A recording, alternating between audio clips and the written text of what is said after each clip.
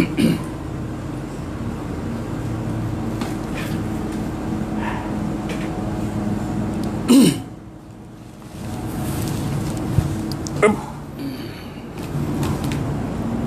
ข่งเรื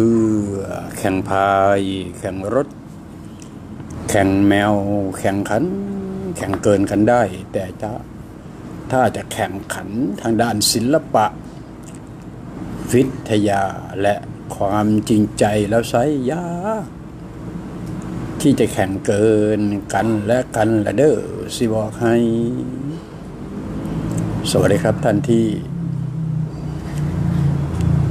โอ้โหหลายกล้องจังเลย ไม่รู้กล้องไหนตะกล้องไหนเนี่ยเอาก็ไป เอา สวัสดีครับท่านที่กำลังอยู่หน้าจอที่เคารพกระต้อนรับทุกท่านเข้าสู่รายการปรัชญาชีวิตเพียงแค่คิดก่อน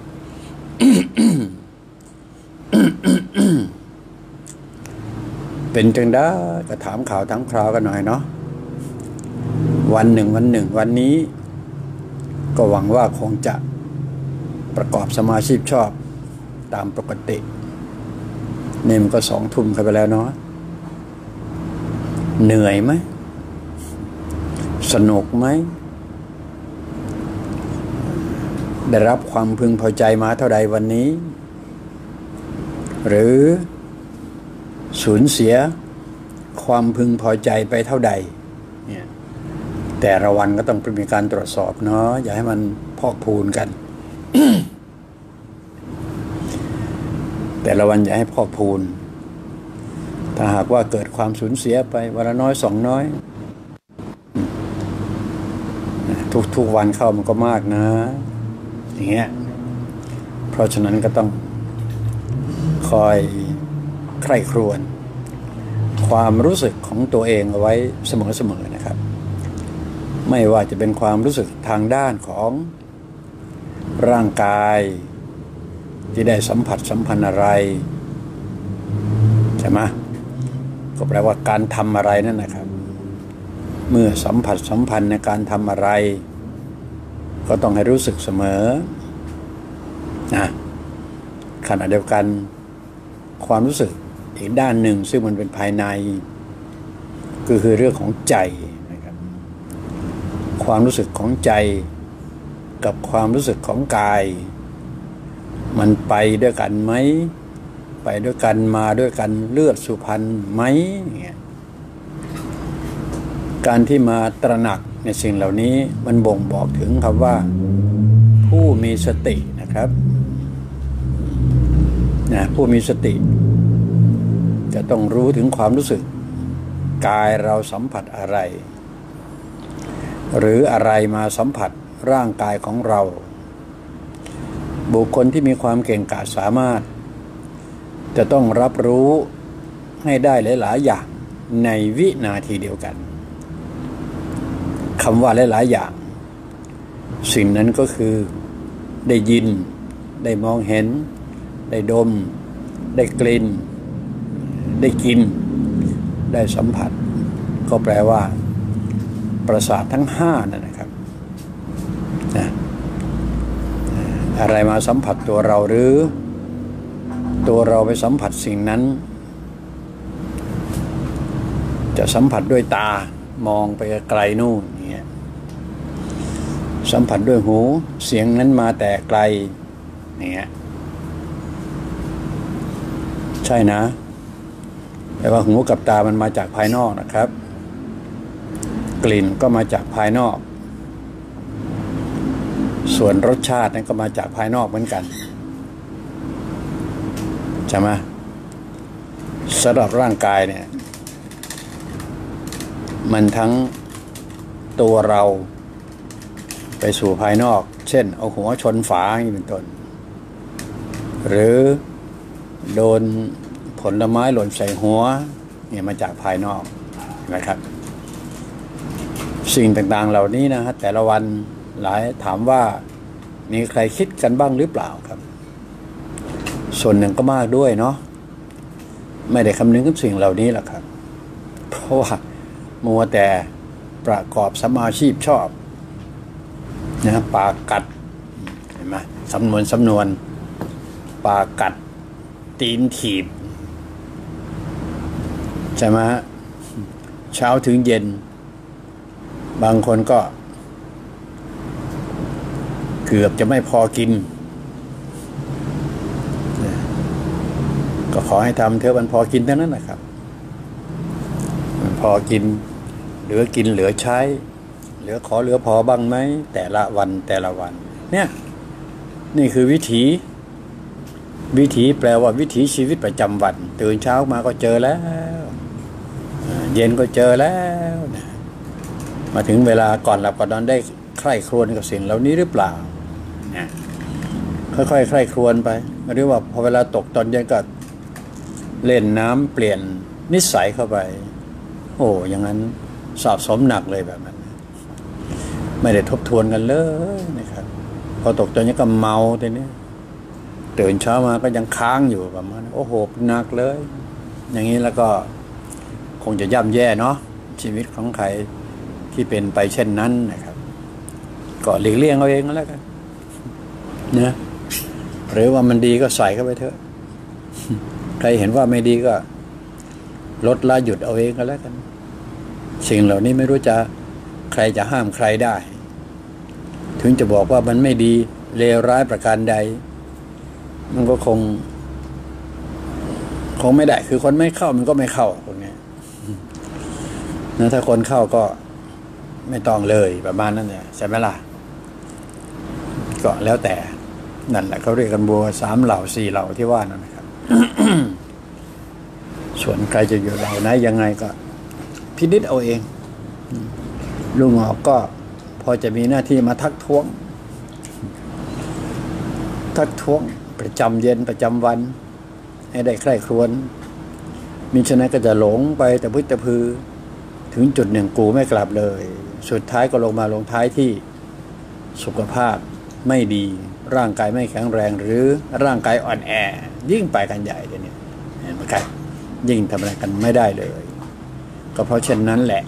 จึงมีบ้านเราดอททีวี สถานีแห่งปัญญาจะนำมาพิจารณาเพื่อให้หาทางออกกันไปไหนก็เจอแต่ทางตีบทางตัน วันนี้จะรำเอาเรื่องอะไรมาเล่าให้ฟัง ลองเดาทางสิเนี่ย ลองเดาทิศทางลุงออกดูสิกอดอกพูดอย่างเงี้ย อะไรเนาะที่จะเป็นแนวทางอันหนึ่งโอ้วันนี้ไปอ่านหนังสือพอเวลามีหนังสือให้อ่านในเรื่องไม่เอาแล้วครับ มันจะไม่พาไปหรอกเดี๋ยวจะกลายเป็นแบ่งหินฟังนะ มันอยู่นอกตัวเกินไป อยู่นอกตัวเกินไป พูดพูดทีส่วนหนึ่งแล้วก็มากด้วย ก็มักจะตามไม่ทัน รู้ไม่ทัน มันก็เลยไม่มีประโยชน์นะนะถ้าผมจะทักท้วงเล่นๆเฉยๆเนี่ยแต่ไม่ไปนะ อย่างเช่นวันนี้ไป เจอเจอคำว่า อืม เดี๋ยวนะ มันมีอยู่สามคำนะ เอกภพเนี่ยคำที่หนึ่ง ทางด้านวิทยาศาสตร์เขาจะเรียกชื่อเสียงเรียงนามเรียกขานกันว่า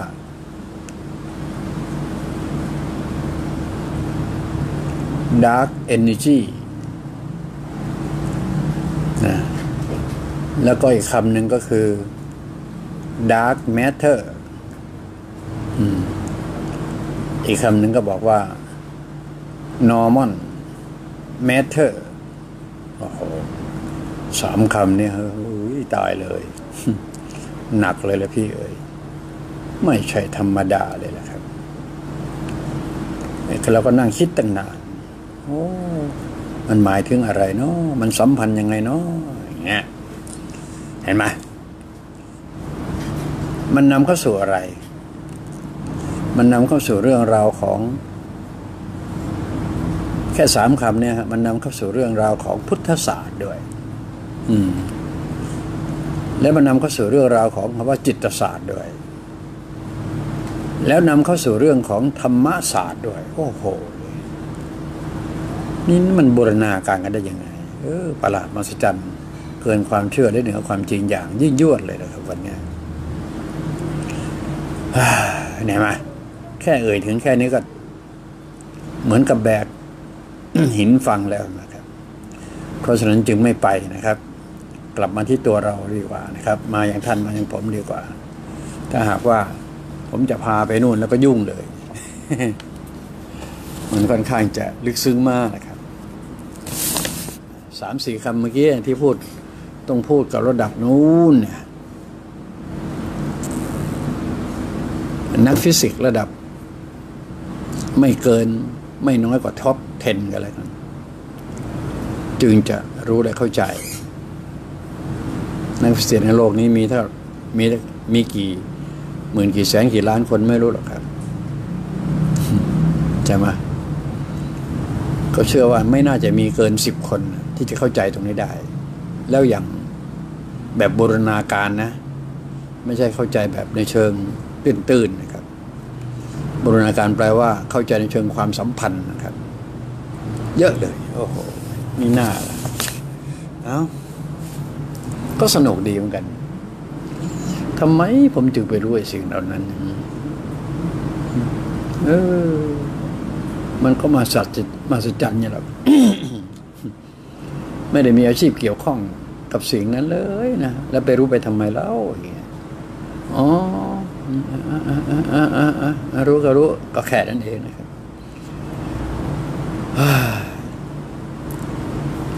ทำไมจึงมาเล่าให้ฟัง พูดฟังไงดีเนาะนะครับ มันไม่ใช่แบบโลกโลกธรรมดานะมันไปเป็นจักรวาลนี่ยมันไปถึงเอกภพนั่นที่ว่าเนี่ยอ๋ออะพอบนมานี่ดีกว่า ทรีนวันดีกว่าครับผม ของสามสิ่งอยู่ในที่เดียวกัน ของสองสิ่งอยู่ในที่เดียวกัน จริงๆ ของสองสิ่งอยู่ในที่เดียวกันเนี่ยหรือในหนึ่งที่บอกว่าเหรียญสองด้านใช่ไหมเหรียญสองด้าน ของสองสิ่ง อยู่ในที่เดียวกัน หรือเหรียญสองด้านอย่างเงี้ยหรืออย่างเงี้ยสองด้าน จริงๆมันมีด้านที่สามอยู่นะตรงนี้แหละครับเห็นไหมด้านที่สามด้านที่สามเนี่ยถ้าหากว่าเราแบ่งสมองออกครับ สมองอยู่เงี้ยมันก็มีด้านขวา ด้านซ้ายใช่ไหมครับพอเวลามารับรู้เรื่องของ สมองเนี่ย มันจะมีคำคำหนึ่งที่ทางการแพทย์เขาชอบใช้กันนะฮะสารอะไร เดี๋ยวนะเอนโดฟีนเออเอนโดฟีนเขาบอกว่าสารแห่งความสุข มันหลั่งเขาว่าสารแห่งความสุข มันหลั่ง ผมบอกมันไม่ใช่หรอกเห็นไหมความสุข สารหลังความสุข สารแห่งสุขมันหลังผมเขาว่างั้นนะครับ แต่ผมบอกมันไม่ใช่หรอกแล้วมันคืออะไรแต่ไม่ใช่มันคืออะไรถ้าหากว่าเป็นผมจะนำเสนอนะครับ ท่านอยู่หน้าจอที่เราครับ เรื่องของสมองเนี่ยผมจะพูดเรื่องของแม่เหล็กนะเรื่องสมองเนี่ยก็คือแม่เหล็ก มันเป็นแม่เหล็ก เออปราดประหลาดมากนะครับ ทีนี้พออะไรเป็นแม่เหล็ก แม่เหล็กกับไฟฟ้าเนี่ยมันแยกจากกันไม่ออก ถ้าพูดไฟฟ้าก็ต้องพูดถึงแม่เหล็ก ถ้าพูดถึงแม่เหล็ก ก็ต้องพูดถึงไฟฟ้า มันแยกไม่ออก มันมีความสัมพันธ์กันอยู่เห็นไหมครับ ถ้าเป็นแม่เหล็กสมองซีซ้ายเนี่ย มันจะบอกจะบอกว่า ขั้วเหนือก็ไม่ว่าอะไรกันซีขวาจะเรียกว่าขั้วใต้ก็ไม่ว่าอะไรกันเห็นไหม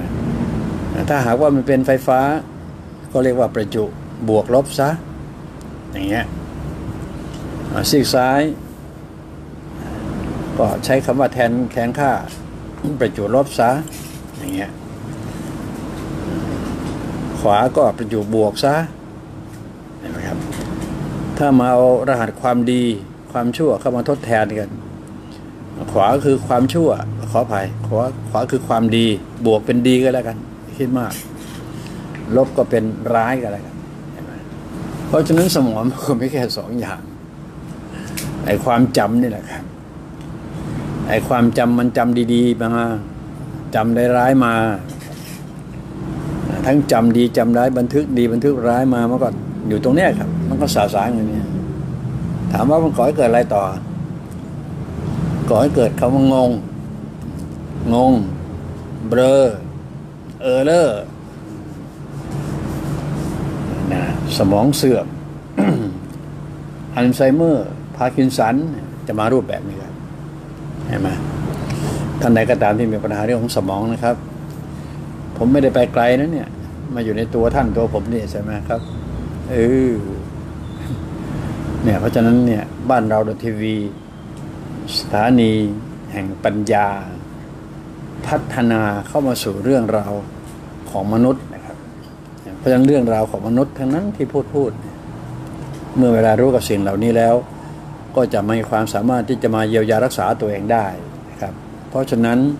ผู้ใดก็ตามที่ปวดหัว คนที่ปวดหัวนะครับ ใช้สมอนทอล์กฟังผมsmall talk ใส่เข้าไปในหูสองข้างฟัง มันจะได้ balance กันนะครับ มันจะได้ปรับให้ เพราะเวลาผมพูดเรื่องพวกนี้มันจะเกี่ยวข้องกันเลยนะครับ ที่พูดพูดไม่ใช่จำชาวบ้านชาวโลกเข้ามานะครับ บอกให้ทราบไว้นะไม่ได้จำใครเข้ามาเลยนะครับ มันเป็นการเล่าให้ฟังในสิ่งที่ตัวเองมีอยู่ ครับ ในเรื่องของสมองตัวเอง โอเคไหม ทำไมผมจึงไม่ปวดหัวเลย ไม่เคยปวดหัวเลยนะดูไว้แต่ไหนแต่ไรแล้วไม่เคยเลยนะไหมมันก็แปลว่า เออสมองผมเนี่ยมันก็มีความมหัศจรรย์ในทีของมันเองครับ เออ เพราะฉะนั้นพอเวลาถึงจุดหนึ่งก็ถือโอกาสเล่าให้ฟังว่า มันทำงานมันเป็นไฟฟ้าเป็นไฟฟ้าสถิต เพราะฉะนั้น ถ้าบอกว่าสมองนะมันคืออะไรจริง ๆ ก็คือระบบประสาท ระบบไฟฟ้าคือระบบไฟฟ้า แล้วไฟฟ้าที่ว่านั้นคือไฟฟ้าสถิต พอเวลามาพูดถึงไฟฟ้าสถิตโป๊ะเท่านั้นแหละครับจะเอาไฟฟ้ากระแสทำอะไรต่างๆมาใส่มาเชื่อมมาโยนเนี่ยผมบอกว่า ไม่ใช่เลยนะครับ ไม่ใช่เลย แม้ว่าทางด้าน ฝ่ายวิชาการทางด้านการแพทย์ก็พยายามที่จะหาอุปกรณ์สร้างขึ้นมาในเรื่องของอคลื่นไฟฟ้าไฟผ่อนนี่นะครับ ที่จะมาช่วยบรรดาผู้ที่มีสมองไม่ปกติอย่างเช่นความจำเสื่อม หรือพาร์กินสันนะครับ จะพยายามหาทางช่วยยังไงก็ไฟมันคนละระบบก็แค่นั้นเองนะครับ เพราะฉะนั้นมันจึงไม่สามารถเข้ากันได้ ถึงจุดหนึ่งมันจะบีบ มันประหลาดมากครับนะไฟมันแรกๆมันก็พอได้หรอกเออ เออ ใช้ได้ลองคิดคำว่าใช้ได้ดูนะฮะอย่าลืมฟังให้ดีนะครับตัวนี้สำคัญค่อนข้างจะมากผมจะพูดเป็นเปอร์เซ็นต์ให้ฟังครับเรื่องของสมอง เอาล่ะ เอาคำว่าเนื้อดีกันแล้วกัน เนื้อดีๆนะ ทั้งหมดร้อยเปอร์เซ็นต์สมอง ดีร้อยเปอร์เซ็นต์เอาล่ะมันดีมาจากไหน มันดีมาจากตอนที่อ้อแอ้มานั่นแหละครับ สมองเลยจะดีมาร้อยเปอร์เซ็นต์หรือแม้แต่อยู่ในท้องคนนี้ถ้าหากว่าไม่ถูกรบกวนก่อน ถ้าไม่ถูกรบกวน ถ้าไม่ถูกเครื่องมือทางการแพทย์ ก็คือพวกอะไรล่ะ พวกรังสีที่เขาส่งกล้องเข้าไปดู เอ็กซเรย์ดู สแกนดู อันตราซาอันตราซาวดูเนี่ยถ้าไม่เจอตรงนั้นก่อนนะครับ สมองเนี่ยมันจะทำงานมาในรูปแบบของร้อยเปอร์เซ็นต์ครับตัวนี้สำคัญมาก ๆ ส่วนหนึ่งแล้วก็มากด้วยยุคสมัยนี้นะฮะก็มักจะเจอคลื่น สแกนดูภายในท้องสองเดือนสามเดือนห้าเดือนหกเดือนเนี่ยมักจะได้รับคำแนะนำมาจากหมอให้ส่องดู ประมาณนั้นนะครับสองทีก็เสียเงินแล้วครับส่องฟรีที่ไหนเล่าใช่ปะเนี่ยลักษณะอย่างเงี้ยคนที่ไม่รู้ไม่เข้าใจเนี่ย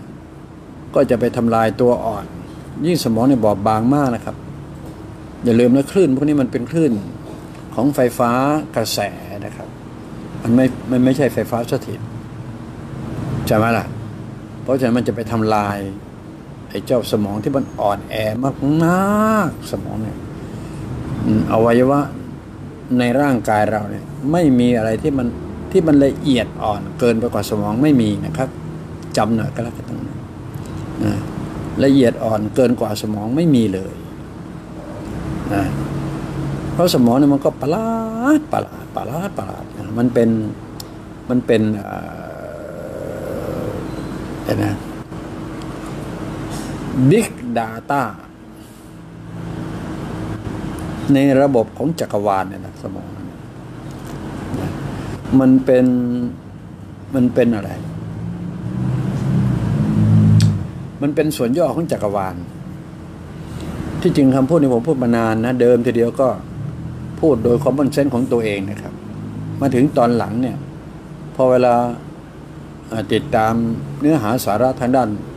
นักวิทยาศาสตร์เขาเกี่ยวกับเรื่องของสมองบ้างเกี่ยวกับเรื่องของเครื่องไม้เครื่องมือที่ที่เขาใช้กันมา เอ้ย ผมพูดได้ยังไง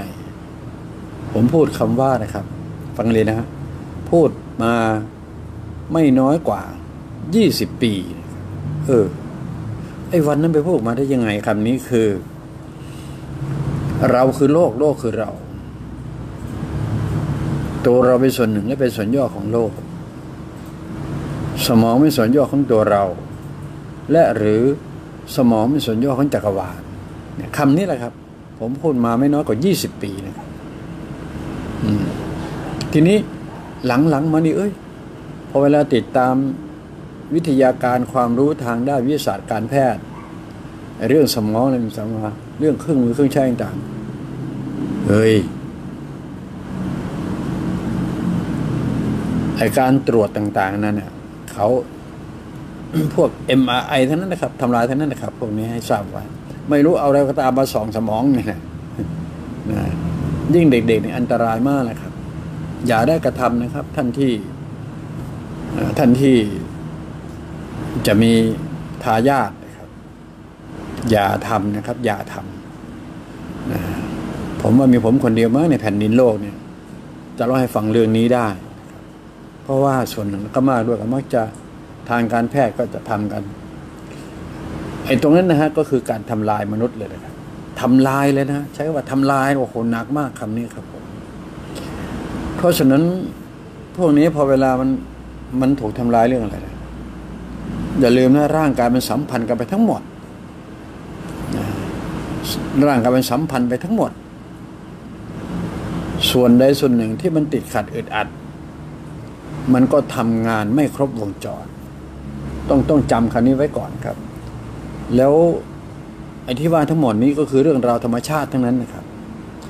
อยากจะให้ผู้คนเนี่ยเกิดมาในกรอบธรรมชาติ แล้วคลอดมาก็ธรรมชาติเดี๋ยววิทยาศาสตร์เขาเข้าไปใส่เลยครับผมนะถ้าวิทยาศาสตร์เข้าไปใส่ ไม่ว่าจะเป็นแขนงไหนก็ตามที่เขาว่าวิทยาศาสตร์เนี่ยอย่าไปใส่นะ ขืนใส่เข้าไปแล้วก็ มันทำลายจริงๆนะมันดีสำหรับคนอื่นเขาคนที่เขาเริ่มเรียนวิชาชีพมามันดีตรงนั้นนะครับมันดีตรงนั้นดีของเขาดีของเขา แต่มันแย่ของเรา โอเคนะถือโอกาสนี่หลักตาเล่าให้ฟังนะเนี่ย เพราะมันเกี่ยวข้องไปทั้งหมดเลย เอาล่ะพอเวลามาถึงตรงที่บอกว่า เราคือโลกโลกคือเรา เราเป็นส่วนหนึ่งและเป็นส่วนย่อของโลก สมองเป็นส่วนย่อของตัวเรา แล้วหรือ สมองเป็นส่วนย่อของจักรวาลพอเวลามาพูดถึงจักรวาลโป๊ะเท่านั้นแหละครับอ๋อไอโครงสร้างจักรวาลเป็นอย่างนี้เหรอเงี้ยเป็นต้นอ๋อ นี่เหลือโครงสร้างของไอธรรมชาติในกรอบของจักรวาลมันทำงานงี้เหรอเนี่ยแน่นอนครับ การที่จะรู้ตรงนี้ได้ มันต้องใช้มันมีตั้งสามสี่ศาสตร์ที่ผมพูดถึงกันนะครับ มีธรรมศาสตร์ศาสตร์ธรรมชาติที่ว่าเมื่อกี้นี้ แล้วก็วิทยาศาสตร์ก็คือเล่าสู่กันฟัง วิทยาศาสตร์หน้าวันนี้เล่าสู่กันฟังแบบ แบบไม่มีอะไรมากมายหรอกอ้างถึงเท่านั้นเองนะครับ อ้างถึงเขา แต่เอามาใช้ไม่ได้เลยในร่างกาย โอเค ส่วนตัวนะ ส่วนตัวนะ แล้วก็ไปถึงนู่นนะไปถึงพุทธศาสตร์ พุทธศาสตร์ก็ต้องรู้ความจริงสามประการนะฮะทุกสมุทัยนิโรธแล้วจึงจะเข้าตรงนี้ได้นะ มิฉะนั้นก็เข้ายากเข้าไม่ได้นะครับ แล้วก็จิตศาสตร์ เพราะฉะนั้นพอเวลาประมวลสามศาสตร์นี้ใส่เข้ามาหากันปุ๊บ แล้วมันมาเกี่ยวข้องกับวิทยาศาสตร์ทีนี้จึงได้รู้ว่า โอ้ตายเลย มนุษย์เนี่ยถูกวิทยาศาสตร์ทำลายมาตั้งอย่างน้อยเป็นร้อยร้อยปี เพราะวิทยาศาสตร์เข้ามาเกี่ยวข้องทางด้านสมองเนี่ยมากมายเหลือเกินครับ เพราะฉะนั้นถือโอกาสเล่าให้ฟังนะ ท่านที่อยู่หน้าจอที่ครพครับ เพราะว่าอะไรรู้ไหมเพราะพอเวลาสมองถูกทำลายปุ๊บเอาคืนยากเอาคืนไม่ได้เดี๋ยวซ้ำไปนะครับ ต้องบอกว่า โอ้โห เอาคืนยากมาก แล้วแทบจะบอกก็ไม่ได้เลยนะครับ สมองเนี่ยถึงขั้นนั้นเลยนะทำไมผมถึงเน้นนักเน้นหนา เพราะว่าผมไปเห็น ไปเห็นอะไรไปเห็นการทำงานของสมอง ความจริงก็ ผมเองก็บอกต้องบอกว่าผมมีสิทธิโดยชอบธรรมนะ จะรู้เรื่องราวของร่างกายของผมเองนะครับ ผมมีสิทธิโดยชอบธรรมนะทีนี้พอเวลามารู้เรื่องนี้มันมีความสัมพันธ์กันในรูปแบบที่มันอะไรกันนักกันหนาทีนี้ทำไมผมถึงบอกว่าเป็นเมื่อกี้เนี่ยบอกว่า Big Data ใช่ไหม Big Data คือสมองเนี่ย ที่ผมว่าเป็นส่วนย่อของจักรวาลใช่ไหม ถ้าเรารู้ส่วนย่อในสมองเราเนี่ย ทั้งหมด มันจะไปรู้เรื่องราวของจักรวาลไปหมดเออ แปลกเลยใช่เพราะฉะนั้นถึงบอกว่ามีสิทธิโดยชอบธรรมแน่นอนนะครับ เรื่องที่ว่านี้มันต้องรู้จักตัวเรา เข้าใจตัวเรา เห็นตัวเรา จนหมดตัวตนย้ำหมดตัวตนของตัวเรานะครับ มันจึงจะไปร่วงรู้ตรงนี้ทั้งหมด ในรูปแบบที่มันถูกต้องตรงจริง ตามกฎเกณฑ์ธรรมชาติก็ได้ใช่ไหมตามกฎเกณฑ์ของ ต้องบอกว่าธรรมชาตินะครับนะเพราะมันคงไม่สามารถที่จะเอาอะไรมาอ้างอิงได้ เกินไปกว่าธรรมชาติ ตามกฎเกณฑ์ที่เกิดและวิวัฒน์มาตามธรรมชาติ ไม่ว่าจะเป็นธรรมชาติในรูปแบบของจักรวาลนะในระบบสุริยะจักรวาลนะครับ จะเป็นธรรมชาติในรูปแบบของโลกใบนี้นะครับ จะเป็นธรรมชาติของตัวเรา ทั้งหมดมันก็เกี่ยวข้องกันหมดนะครับ เพราะฉะนั้นเรื่องอย่างนี้ไม่ใช่เรื่องเหลวไหลแล้วครับฝากเอาไว้กรุณาขอบโน้มเอาไว้กรุณาคิด ขอได้โปรดพินิจพิจารณาให้ดีๆดีๆนะถ้าหากว่า อ่อนแอกับสิ่งที่ผมกำลังเล่าถึงเนี่ยครับ ปัญหาเรื่องของมนุษยชาติเนี่ยหนัก หนักมาก หนักมากหนักมาก โกไม่กลับเลยครับ ยากยิ่งที่มีคลื่นมือถือมือถอยเนะครับ ความถี่สูงความถี่ต่ำเนี่ยนะเข้ามาวุ่นวายด้วย โอ้โห วันนี้เขามีอะไร ในเรื่องของ 5G 5G เนี่ย 5G กับอะไรสักอย่างเนี่ยเข้ามาผสมผสานกัน เทคโนโลยีเนี่ยโอ้ของของอะไรของ Microsoft นะที่เขาทำขึ้นมาที่ มันถึงขั้นขนาดที่ฟังให้ดีนะฮะอย่างเช่น ผมนั่งอยู่ตรงนี้นะอยู่ที่นั่งเกล้าเนี่ยวิทยาศาสตร์เทคโนโลยีก็เนี่ยสามารถที่จะเอาตัวผมนี่แหละไปอยู่ที่อเมริกาได้เลย ในเวลาเดียวกันเนี่ยครับเห็นไหมอะไรที่ไม่ใช่หายตัวเห็นไหมครับ หรือตัวผมไปยืนอยู่ที่ไหนก็ได้ที่ญี่ปุ่นออสเตรเลียเนี่ย มันมาถึงขั้นนี้แล้วนะพี่เอ๋ยจะบอกว่ามนุษย์ต่างดาวได้ไหมเนี่ยอ่าเห็นไหมเออเอเลียนเอเลียนที่เขาพูดถึงเนี่ยเอเลียนเอเลียนที่เขาพูดถึงกันมันเป็นไปได้ทั้งนั้นแหละเวลาเนี้ยดูสิครับ มันจะไปได้ยังไง นั่งพูดอยู่เนี่ยแต่ตัวอยู่ที่นู่นสบายๆเลย มาถึงตรงนี้ปุ๊บผมนึกถึงพระอรหันต์ทันทีเลย ระอรหันต์ก็สามารถแยกกายนะฮะแยกกายเขาได้ถึงห้าร้อยกายพันกายนะครับบอกให้ทราบไว้เนี่ยยุคพุทธกาลเนี่ยก็เลยมานึกถึงตรงนี้นะเอ้ยเออมันมันมันมันเข้ามาใกล้ใกล้ของจริงแท้มีเพียงสิ่งเดียวนะที่ว่าแล้วของจริงจริงจริงแท้แท้มีเพียงสิ่งเดียวแล้ว แต่ทั้งหมดทั้งมวลเนี่ยนะฮะวิทยาศาสตร์คือวิทยาศาสตร์ สุดท้ายผมก็เชื่อว่าก็เชื่อว่านะฮะคนที่เล่นในพวก 5G หรือแม้แต่มีอย่างก็จำไม่ได้นะมันหรือว่าจำว่าดูสิจำได้หรือเปล่า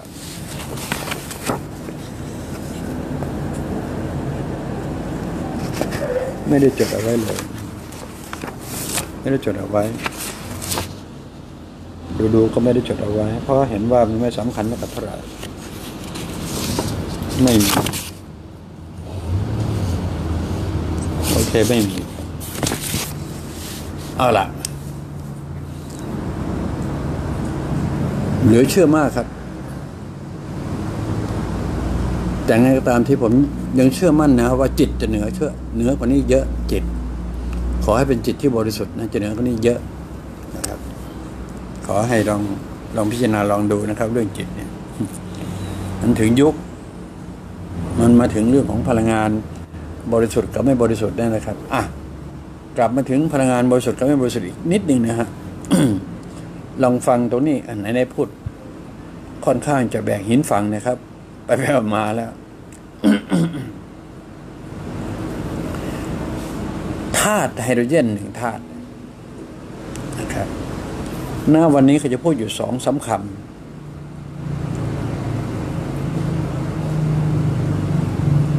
ธาตุไฮโดรเจนตัวเดียวเนี่ยครับ มันมีทั้ง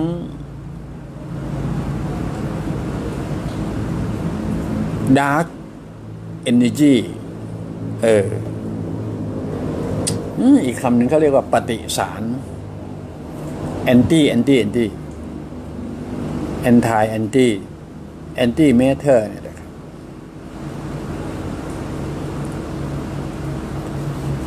มันก็คือพลังงานที่ไม่บริสุทธิ์นั่นเองครับ กับบริสุทธิ์ ในธาตุไฮโดรเจนเนี่ย ทั้งสองสิ่งนี้มันมันขับเคี่ยวกันอยู่ ไม่รู้ว่า มันต่อต้านกันอยู่อย่างนี้ดีกว่า เออ เออ มันต่อต้านกันอยู่ มันก็ประหลาดครับในธาตุตัวเดียวเนี่ย ทีนี้พอเรามันต่อต้านปุ๊บทางวิทยาศาสตร์ก็จะแยกมานะครับว่า ไอ้ตัวหนึ่งจะเรียกกันว่า dark energy ก็คือสารมืดนั่นเองครับ แล้วอีกตัวนึงก็คือ anti anti anti dark energy เนี่ย โอ้โห มันไปขนาดนั้นแล้วนะครับ พี่เอ๋ยน้องเอ๋ยญาติโกโหติกาเอ๋ยแล้วเขาก็จะหยิบเอา ไอ้ตัวที่แอนตี้เนี่ย ตัวแอนตี้มาทำประโยชน์เนี่ยพูดว่างไงเดียถ้าผมจะอนุมานนะก็คือ เรื่องของพระธรรมอย่าลืมนะพระธรรมก็คือพลังงานที่บริสุทธิ์นะครับ กับคำว่าพระเจ้าที่ชาวโลกพูดถึงนะฮะก็ถือว่าเดียวกันแล้วกันนะ พระธรรม ที่พระพุทธเจ้าค้นพบ กับคำว่าพระเจ้าที่ชาวโลกพูดถึง ก็คือสิ่งเดียวกันนะฮะไอ้ตรงเนี้ยฮะยังมีคำว่า anti อยู่ anti พระเจ้ากันแล้วโอเคไหมเออ anti พระธรรม anti พระเจ้า ถ้างั้นก็จะลงมาทางด้านนี้ครับ ถ้ามี anti ปุ๊บมาปุ๊บถ้าหาว่ากลุ่มกลุ่มสาธุ ก็คือพญามารก็แล้วกัน ไอ้มารพญามารหรือไอ้มัจจุราชไป โอเคนะ ถ้ากลุ่มโอมก็ราหูนะถ้าหากว่ากลุ่มอามีนอาเมนก็ชัยฏอนกับซาตานนั่นนะฮะตัวชัยฏอนซาตานนั่นแหละครับ ก็คือตัว anti anti anti เนี่ยครับ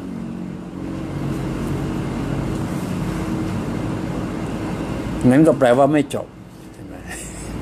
ไม่จบ ไม่มีทางจบได้เลยเรื่อง มันก็อยู่เงี้ยมันเป็นมาตั้งแต่นู้นโอ้ยไหนๆแล้วครับ มาถึงวันนี้ก็ลองลองใคร่ครวญดูนะฮะ ท่านที่อยู่ หน้าจอที่เคารพผมหลับตาพูดตลอดนะฮะอย่าเชื่อผมนะครับ อย่าเชื่อลุงงอกนะครับเพราะว่าในวาระอย่างนี้ในสภาพสภาวะเช่นนี้ถ้าหากว่าเชื่อลุงงอกยุ่งเลยแหละครับ แต่ทั้งหมดนั้นอยากจะให้ใคร่ครวญดูว่าสิ่งที่เล่าให้ฟังตรงนี้ มันมีผล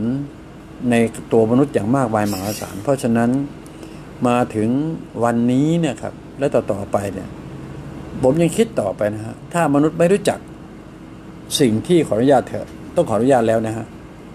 มนุษย์ที่ไม่รู้จักสิ่งที่ผมเล่าให้ฟังในเวลาเนี้ยครับ จะอยู่ยากมากครับ อยู่ไหนก็หนีไม่รอดเลยครับ จะอยู่ยากเหลือเกินครับ มันจะบีบรัดกันสาทั้งหมด ด้วยวิทยาศาสตร์เทคโนโลยีที่มันมาเนี่ยครับ ไม่ได้ใช้มันอะแต่มันก็มาทำลายเรา เออ เออ ดูสิครับว่ามันอะไรเกิดขึ้น ผมยังคิดถึงต่อไปอีกนะฮะมันจะทำลายแม้กระทั่งผลหมากรากไม้จะไม่มีดอกไม่มีผลกันนะครับ เรื่องนี้เรื่องคลื่นเนี่ยมันทำลายแม้กระทั่ง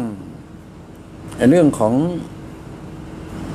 โมเลกุลของน้ำที่มันจะต้องเกิดขึ้นในชั้นบรรยากาศ ที่จะก่อให้เกิดฝนเนี่ยเห็นไหมครับ มันไปขนาดนั้นแล้วละครับ พี่เอ๋ยจะบอกให้รู้ไว้ ไม่รู้ว่า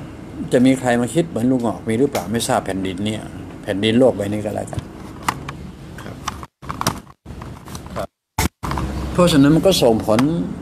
ไปให้คำว่าความร้อนของโลกใบนี้มันมากมายมหาศาล มันจะไม่ร้อนได้ไงครับ ไอ้น้ำฝนแทนที่มันจะตกลงมาตามฤดูกาลมันนะ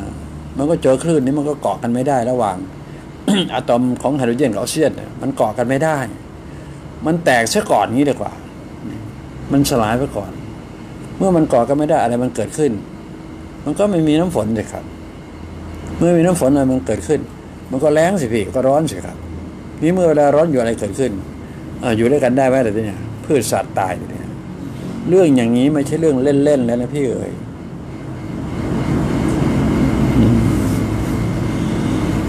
อืมนะ ไม่ใช่เรื่องเหลวไหลแล้วนะ เออตายตายตายนี่ตายตายตายผมใช้คำว่าตายตายตายเนี่ยแปลว่ามันไม่ธรรมดาแหละครับอืมครับอะไรไม่อะไรนะครับ สิ่งที่จะทำให้โลกใบนี้ สูญเสียความสมดุล เร็ววันเร็วคืน ก็คือก็คือนะครับ ที่ออกจากโลกไปเนี่ย ไปอวกาศนี่แหละครับเพราะว่าไอ้ที่ผมเล่ามาทั้งหมดนะฮะก็คือเรื่องราวความรู้ของเรื่องของอวกาศหมดนะฮะการเคลื่อนที่เร็วของยานอวกาศ การเคลื่อนที่เร็วอะไรต่างๆก็พยายามที่ทำขึ้นมาเนี่ยครับ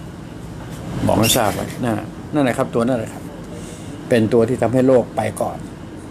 นะไม่ว่าจะเป็นระบบการสื่อสารจะต้องเร็ว การเคลื่อนที่เร็วนะฮะการที่ใช้อะไรล่ะเรียกว่าเชื้อเพลิงเลยแรงขับให้มันเร็วพวกนี้นะ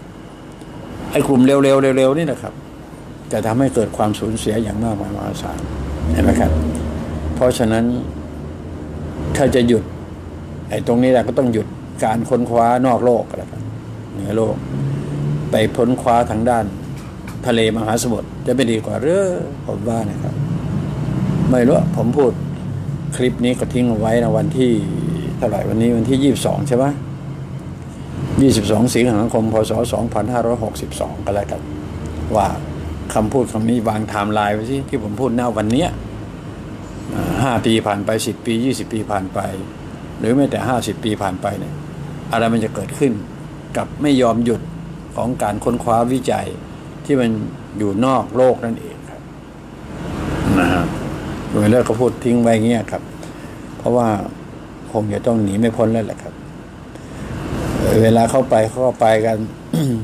แต่เวลาที่ผลกระทบมันกระทบกันทุกคนนะในโลกใบนี้ในเรื่องของคลื่นเนี่ยนะนะนะนะ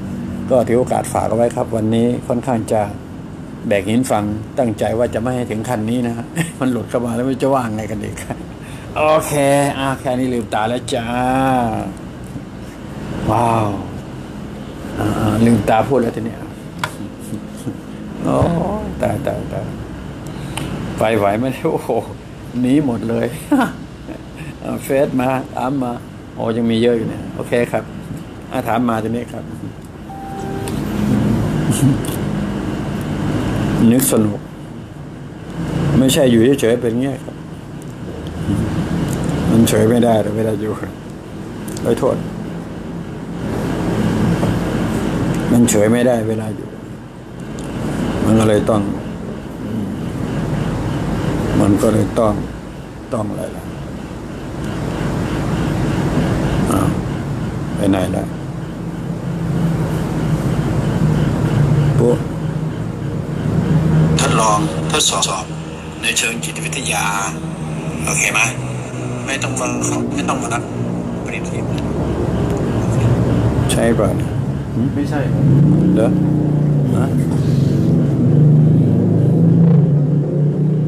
ฮะเตรียมตัวเป็นคำถามดูสิครับ ท่านที่อยู่หน้าจอ วันนี้ยอมรับว่าว่าจะไม่หนักที่ไหนได้ไปหนักเลย มันขึ้นต้นแล้วก็ไปเลย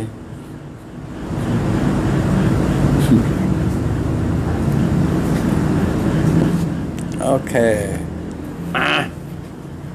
ถามอะไรก็ถามมาพี่ ไม่มีปัญหาอืมอืมอืมอืมคนที่ใช้จิต ใส่พลังงานลงไปในสิ่งของให้คนที่ พกนั้นรวย มีโชคลาภมีเสน่ห์พลังงานจิตที่ใส่ลงไปในสิ่งของแล้ว เราเอาพบมัน สามารถทำให้เรารวย มีเสน่ห์ได้จริงไหมครับ ผมว่าพอละมั้งเรื่องพวกนี้ครับเห็นไหมอืมเป็นไปได้ไหมเด็ดนะอ่า ไม่อยากจะตอบให้มันขาด เอางี้ดีกว่า อย่าไปเดินถนนสายนั้นเลยดีกว่า โอเคไหมคนที่ใช้จิตใส่พลังงานไปในสิ่งของให้คนที่พกนั้นรวย มีโชคลาภพอแล้วล่ะครับคำว่ามีโชคลาภนี่ตัดทิ้งซะนะนะนะนะนะอย่าไปหวังมันเลยครับคำว่าโชคลาภเนาะเนาะเนาะตัดทิ้งไปซะ ก็แปลว่าอย่าไปเสี่ยงโชคใด ๆ ก็แล้วกัน หรือแม้แต่มีสนองเสน่ห์ที่เขาว่าเนี่ยเสน่ห์จะเอาไปทำไม คนที่คิดเช่นนี้ก็มีแต่คิดจะหลอกล่อหลอกลวงใครเท่านั้นเองนะครับ คิดหลอกล่อหลอกลวง เอาสิ่งของของผู้อื่นมาเป็นของเราใช่ไหมแนวทางเช่นที่ว่านี้ ทางด้านพุทธศาสนา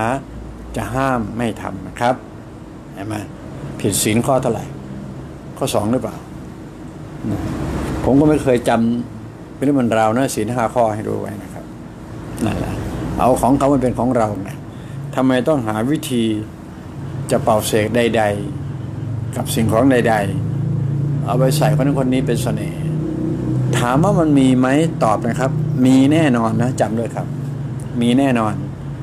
แต่มาถึงวันนี้ถ้าหากว่าท่านอยู่หน้าจอขณะเนี้ได้ยินเสียงที่ผมเล่าให้ฟังเนี่ย สิ่งนั้นมันไม่สามารถทำอะไรท่านได้หรอก โอเคไหมขอให้ท่านเข้าใจในภาษาที่ลุงออกพูด สิ่งนั้นจะไม่มีสิทธิ์ที่จะมาทำอะไรท่านได้เลย ขอให้เข้าใจในคำพูดของภาษาของลุงออกเข้าไว้นะครับ มันจะกันไปในทีเองนะครับ ฝากไว้ด้วย อย่างทางด้าน คุณ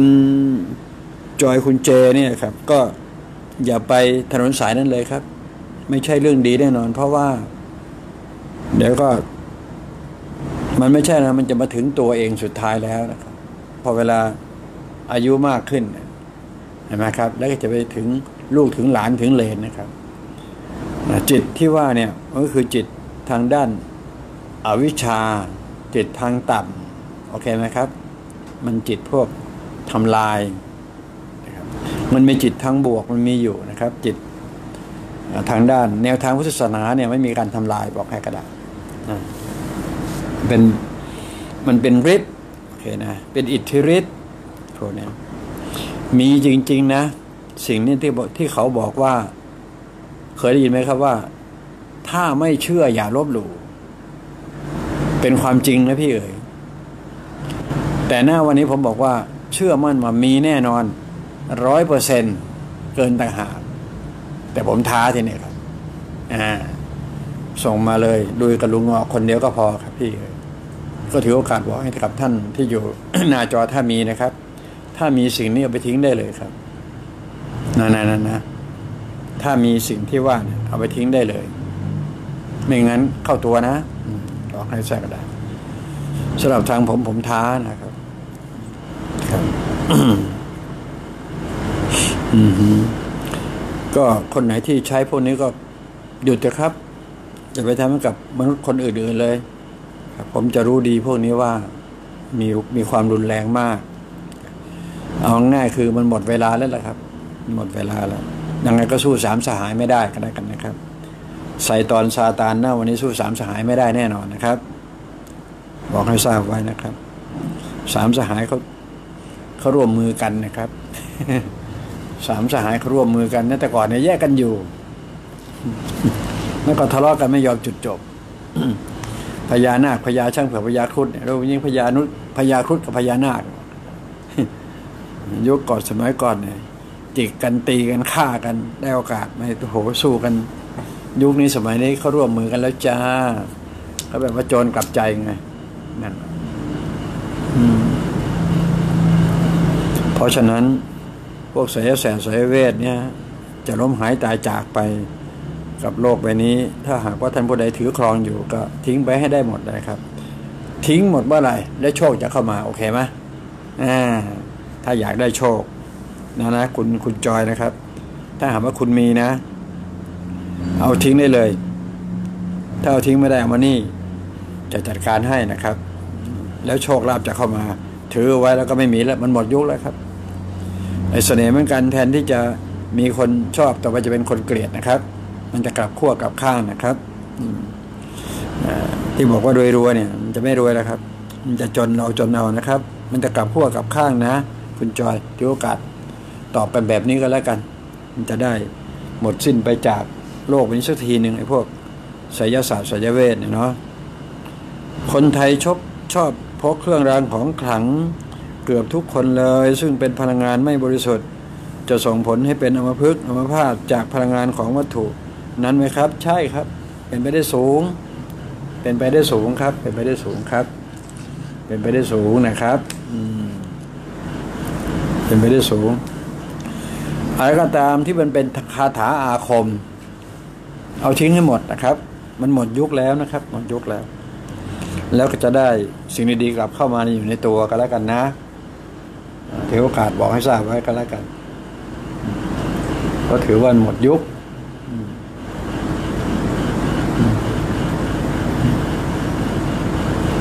อยากทราบว่ามนุษย์ต่างดาวเขามีภาษาพูดเหมือนเรา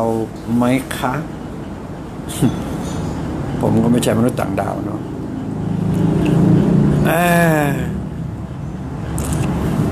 มันมันลอยฮะ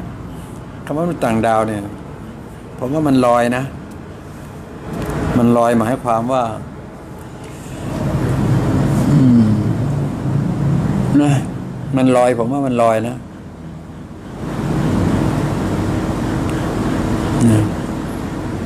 เชื่อแบบลอยๆจำแบบลอยๆประมาณนั้นนะครับ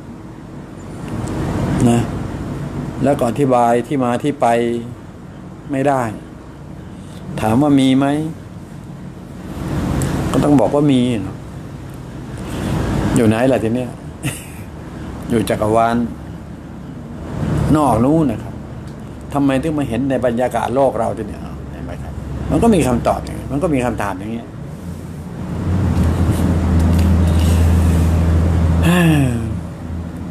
จริง ๆ นะ จะพูดว่าไงดี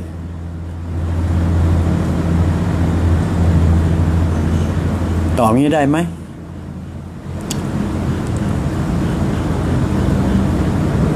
ใครก็ตามที่มีเอางี้ดีกว่าสามสิ่งนี้ พร้อม ๆ กันนะ มีหูทิพย์มีตาทิพย์แล้วก็มีใจเป็นทิพย์อะ จึงจะสื่อสารเขาได้กันแล้วกัน เอางี้ดีกว่า อได้ไหมครับแล้วตอบอย่างนี้มีหูทิพย์ได้หูทิพย์ได้ตาทิพย์แล้วก็มีใจเป็นทิพย์ด้วยนะจึงจะสื่อสารตรงนี้ได้โอเคไหม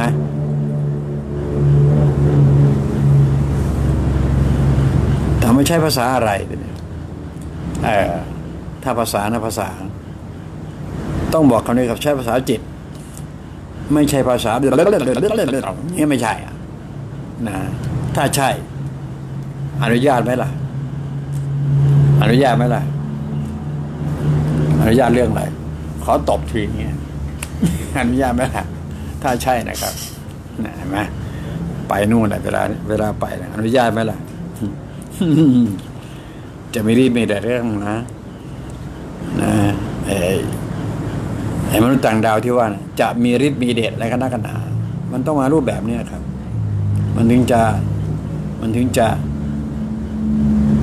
อะไรล่ะ ทดสอบ ถึงทดสอบได้ ผมว่างั้นนะ อย่าเลยครับ อย่าไปท้าทายกันเลย ผมว่าในเรื่องนี้ตีแตกตัดตก เรื่องเขาเรื่องเราดีกว่าครับ ผมว่านะ อืมอะไรก็สู้เรื่องเราไม่ได้หรอกครับ รู้เข้าใจตัวเราเห็นตัวเราจะหมดตัวตนตัวเราเองนะฮะผมว่าสิ่งนี้น่าจะสมบูรณ์และก็บริบูรณ์ที่สุด ของความเป็นมนุษย์กัน ผมว่านะ ส่วนนั้นก็ดื้อนอกจากนั้นก็ใช้หูให้เป็นประโยชน์ใช้ตาเป็นประโยชน์สักหน่อยหนึ่งนะเสร็จแล้วก็แยกเขาแยกเราซะแล้วเราก็จะเข้าใจเขาพอประมาณนะครับ เอาเข้าใจเราจะดีกว่าเนื้อกว่าทุกทุกมิตินะครับโอเคนะ คุณเจสันเลยอืมอ๋อเจสันของของขลังนะครับ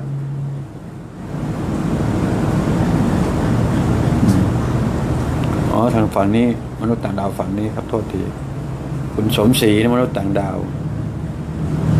โอเคครับ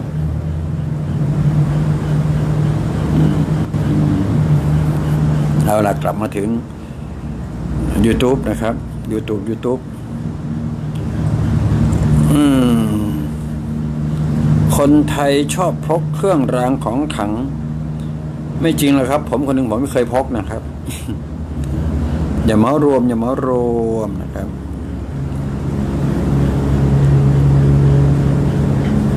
อไอ้พวกเครื่องรางของขังที่พวกเขาเรียกกระตุดเหรอตะกุดตะกุดเออตะกุดอะไรพวกนี้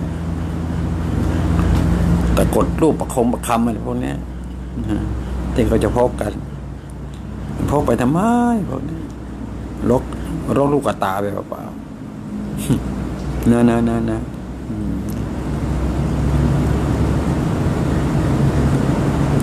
พลังงานบริสุทธิ์มันมีเรื่องเดียวนะครับ ก็คือจิตบริสุทธิ์เท่านั้นจะเป็นพลังงานที่บริสุทธิ์ได้นะครับ ต้องจิตบริสุทธิ์ถ้าหากว่าจิตไม่บริสุทธิ์มันก็เป็นพลังงานที่ไม่บริสุทธิ์เช่นเดียวกันนะครับ ทั้งจิตบริสุทธิ์กับไม่บริสุทธิ์ต่างก็มีพลังนะครับ มีพลังทั้งคู่แหละแต่จิตที่บริสุทธิ์นั้นจะมีพลังงานที่ที่อะไรที่มันปลอดภัยมากกว่า ที่มันปลอดภัยร้อยเปอร์เซ็นต์กันแล้วกันเนาะเนาะขอให้คิดอย่างนี้พอ วันนี้ตอนเย็นๆฝนตกที่เขตบางกะปิพญาไทเป็นฝีมือของลุงหงอกใช่ไหมไม่ไม่ใช่หรอกไม่ใช่หรอกฝีมือของลุงหงอกได้ง่ายนะครับ ฝนก็ตกมาตามธรรมชาติของเขานะครับคุณนักขนาดโอเคครับ เอาเครื่องรางของขลัง ไปให้ลุงหงอกล้างพลังงานไม่ดีได้ไหมครับ ลองมาครับ เอามาได้เลยนะครับ แต่เราเก็บไว้ทำกำไร เอาไว้ขายได้ไหมครับ เออ แต่ไม่ได้สนใจพวกนี้ แต่ชอบเก็บไว้ขายกำไรเชิญนะครับทั้งนั้นถ้ามันเป็นอาชีพเออนะเป็นอาชีพก็เชิญนะครับ ได้แต่มัธยาศัยนะเรื่องอาชีพเนี่ยทำไปเถอะ แต่ถ้าหากว่าจะเอาเป็นเอาตายกันที่ที่ว่าเมื่อกี้นี้ก็ ก็อย่าไป ก็อย่าไปอะไรกับมัน โอเคนะ ถ้าเป็นอาชีพเชิญนะครับ นี่ปัญหา แล้วสิ่งของที่เกี่ยวข้องกับพญาครุฑพญานาคจะมีอนุภาพไหมคะ มันอยู่ที่ว่าใครแหละเป็นคน มันอยู่ใครเลยใครเป็นคนอธิษฐานตรงนั้นนะครับ มันอยู่กับคนคนนั้นนะครับ วัตถุทุกอย่างแหละครับที่ใคร ได้หมด ได้หมด มันไม่ใช่แต่ จะเป็นนู่นนั่นแหละครับโอเคนะ เพราะมาถึงวันนี้ เราใช้คำว่าพลังงานบริสุทธิ์กับไม่บริสุทธิ์คุยกันนะครับ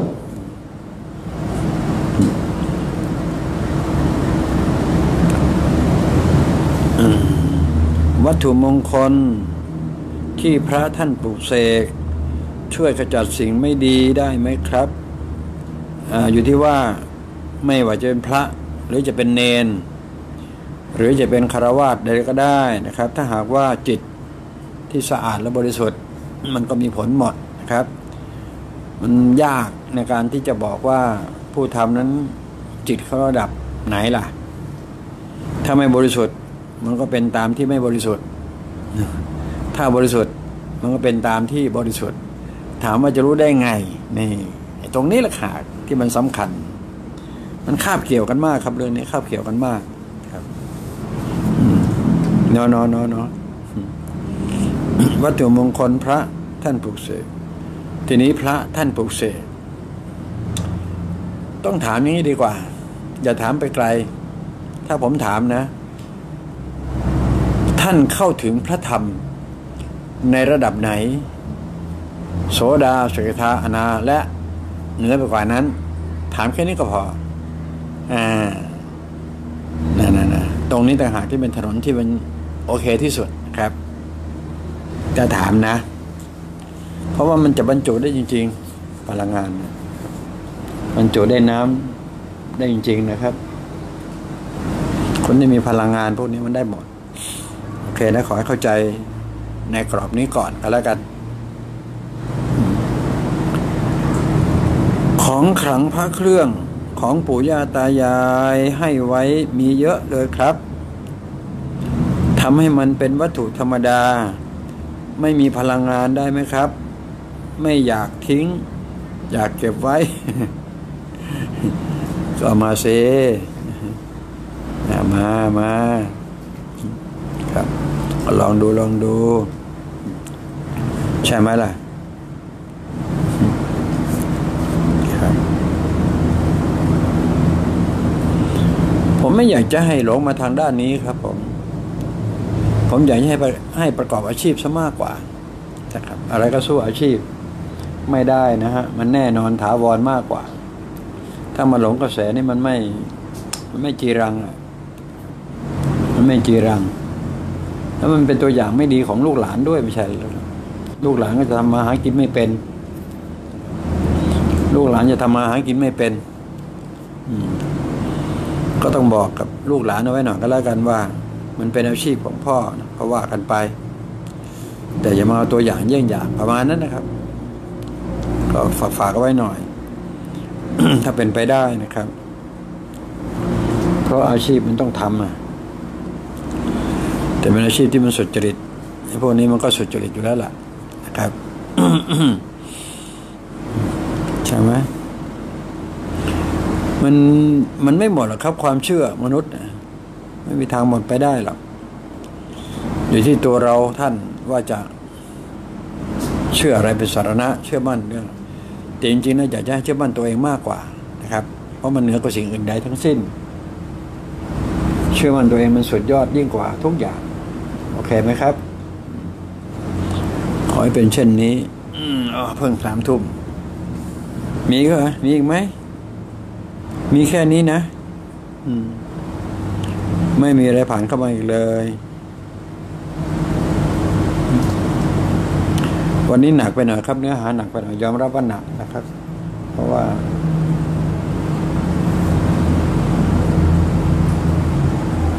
อืม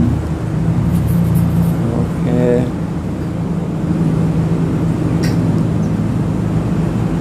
ไม่มีละ หมดนะ หมดนะ หมดแล้วบ้านใครบ้านใครเนาะ